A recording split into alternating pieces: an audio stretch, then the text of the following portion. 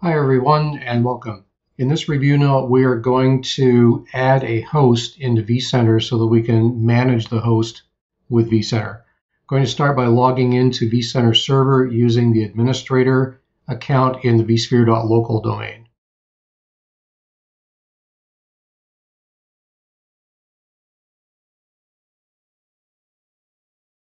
Okay, that's it. I'm going to first create what's called a data center object, which we need to organize all of our other objects.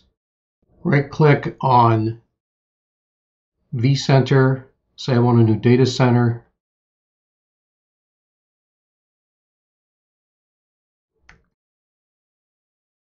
Put in the name, okay, and there's our new data center. From here, I'm going to add a host. If I right click on the data center, we see there's an add host option. I'm going to put in the IP address for the host we're going to add. That's the one that we just got finished setting up with Active Directory in previous video. I need to use a username that has admin rights on that host.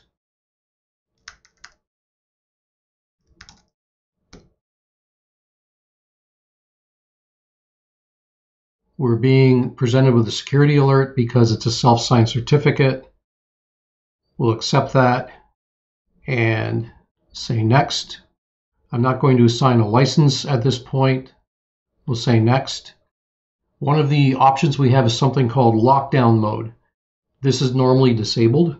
We can set this to normal if we wish, and what that means is that the only way we could administer the host is through uh, vCenter server or through DCUI. And what that means is we cannot connect in using Secure Shell or something like that um, on the host.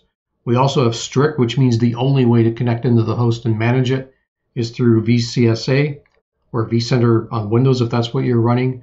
There is no console access, which means we would actually have to get to, or we'd have to start, I should say, the console if we want to use that.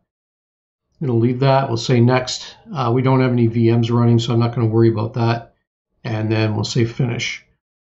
We'll see that this is going to take a minute or so to add in the host. Once that's done, the host will appear in the data center. Expand out the data center. Here's my host. I can now select this guy.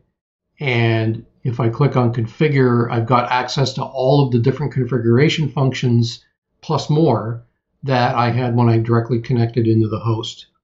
I'm going to shrink down these top ones for now because I want to kind of focus on the system side of it. So this is the software on ESXi. I can configure, for example, time protocol, which we did locally in another video. Can configure authentication services, which we did locally in another video. We can see that this is in the Active Directory domain. I can configure the firewall. I can configure services, all of those things that we would normally configure locally as well on the host. One thing to note, once we have added a host into vCenter Server, we should always manage that from vCenter Server and not within the host.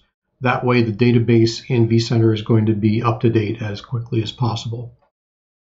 That's a wrap for the video. Hopefully this was helpful for you and we'll see you next time.